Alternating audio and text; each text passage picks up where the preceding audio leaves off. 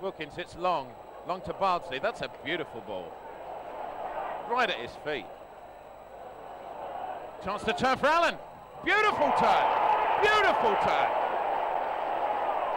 He slipped his man as if he wasn't even there. And to be honest, Miklosko could just only watch it.